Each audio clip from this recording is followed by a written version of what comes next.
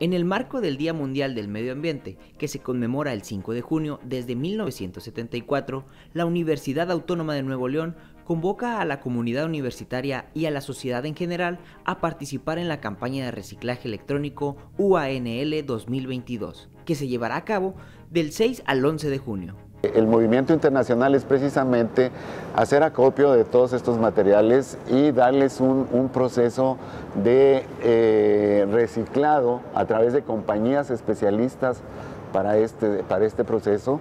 Por ejemplo, de las, de las televisiones pues se rescatan partes de las tarjetas, de, los metales que están contenidos en el interior de las partes metálicas del mismo televisor y entonces estos materiales se reciclan de tal manera que no vuelven a la naturaleza, no están en contacto con, el suelo, con el agua y esto evita pues que haya un problema de contaminación tanto en el suelo como en el agua.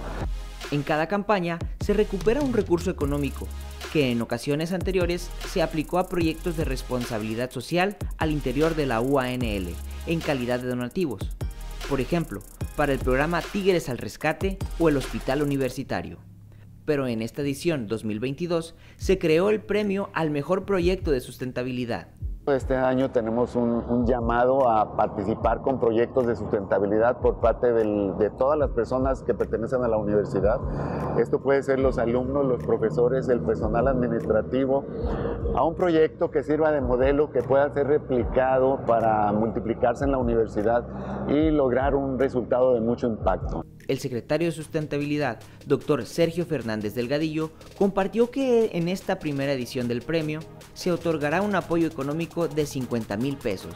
Se recibieron 21 proyectos que actualmente están en evaluación. En este momento estamos en el proceso de la evaluación de los proyectos que nos presentaron y bueno, en función de eso, del beneficio que pueda resultar para toda la universidad es que elegiremos un proyecto. La directora de Gestión Ambiental y Seguridad Operativa de la UANL, Evangelina Ramírez Lara, compartió que la campaña de reciclaje electrónico del 2019, la última que se realizó antes de la pandemia, se recolectaron 45 toneladas de material electrónico manejando 10 centros de acopio. Pues la expectativa que tenemos obviamente si es grande, vamos ahora a 16 centros de acopio. ¿Sí? Porque las mismas dependencias nos decían, oye, yo puedo ser centro de acopio, yo también quisiera ser. Entonces empezamos por ahí a tomar nota y están estratégicamente este, ubicadas.